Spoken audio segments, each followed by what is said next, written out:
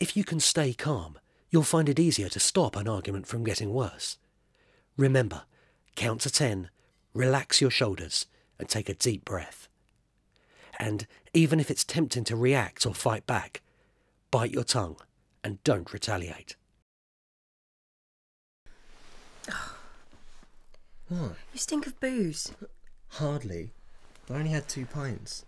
Look, we had to have a final run through the presentation. Someone said let's do it in the pub. Uh, not my choice. Anyway, it's not that late. What are you doing?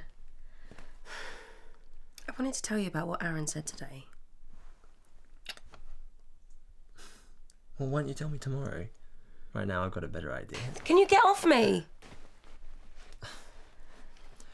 Aaron's asleep. The night is young, and I thought you wanted to.